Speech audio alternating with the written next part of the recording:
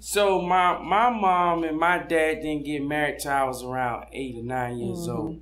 So up until that point, it was just me and my mom. I was a mama's boy. Mm-hmm. I spent. I was either with my mom, or I was either with my grandparents. Mhm. It wasn't no. It wasn't nobody else raising me. You know, and so I just.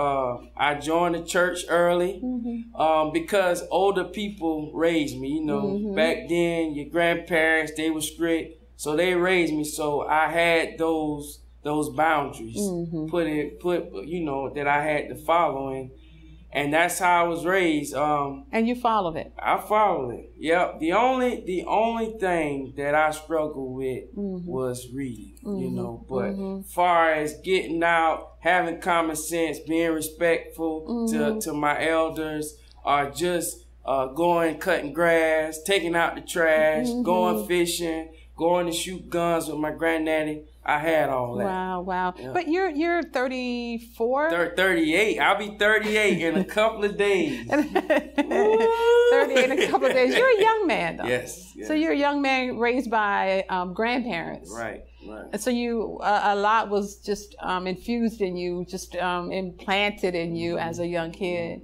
Now, and so I, I remember when we talked before about being in school and how one teacher came to you Yeah. and was saying that you should be in a special class. Right. Tell- yeah. Tell me about that journey. So yeah, I was ninth grade, and I remember like it was yesterday. I was walking out back then. They had breezeways in between the wings at the school, Mm-hmm. and she stopped me. She said, um, "She said, you know, Dante, you are behind. You know, and the best thing for you at this point is to put you in special education."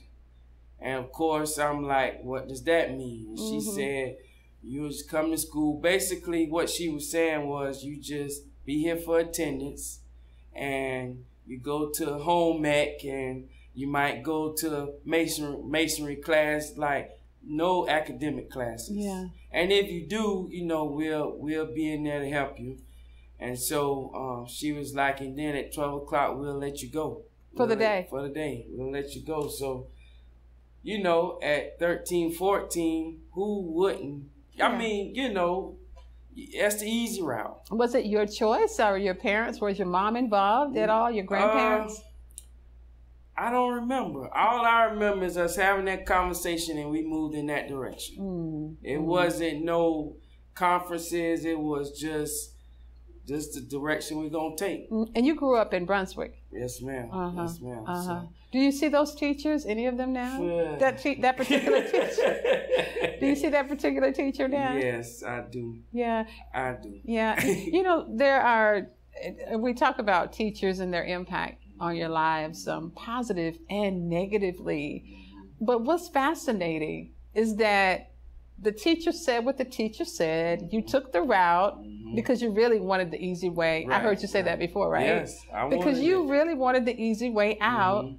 So, in retrospect, what do you think about it? Your younger self. What would you tell your younger self?